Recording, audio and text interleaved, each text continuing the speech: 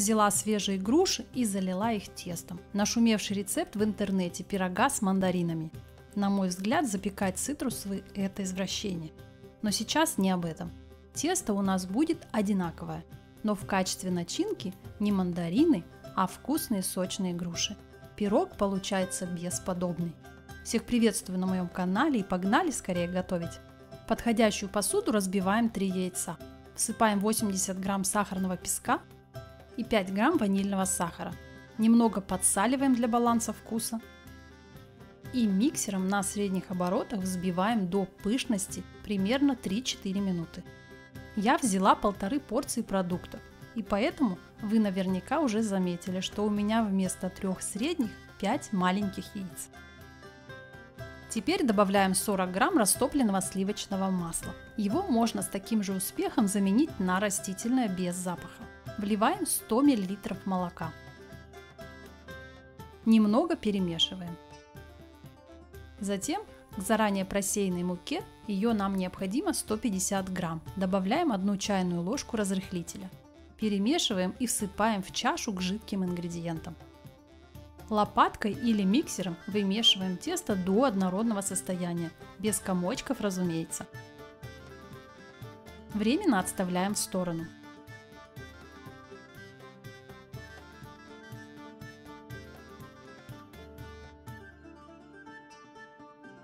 Одну большую или две средние груши режем слайсами.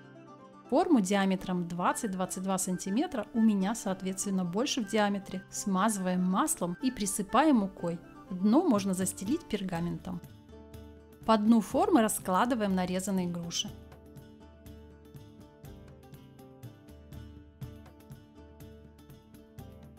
Заливаем тестом, разравниваем и отправляем выпекаться в разогретую до 180 градусов духовку.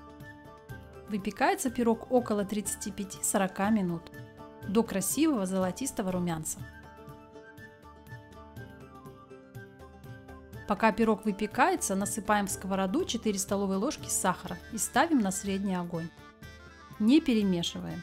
Дожидаемся, пока сахар сам начнет таять. Он должен полностью растопиться. Только потом его можно перемешивать. Он должен стать жидким. Готовый пирог оставляем немного постоять в форме. А после снимаем разъемное кольцо и перекладываем на решетку.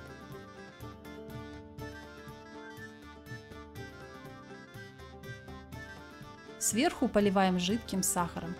Даем ему полностью остыть и зовем всех на чай. Пирог получился сочный, в меру сладкий и незабываемо вкусным. Это бомба!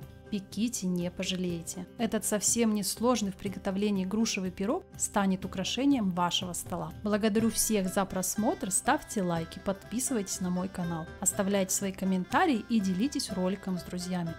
Всех подписчиков и гостей моего канала поздравляю с новым 2021 годом.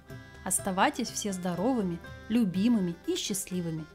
Всем желаю удачи в приготовлении и прощаюсь до новых рецептов. Пока-пока!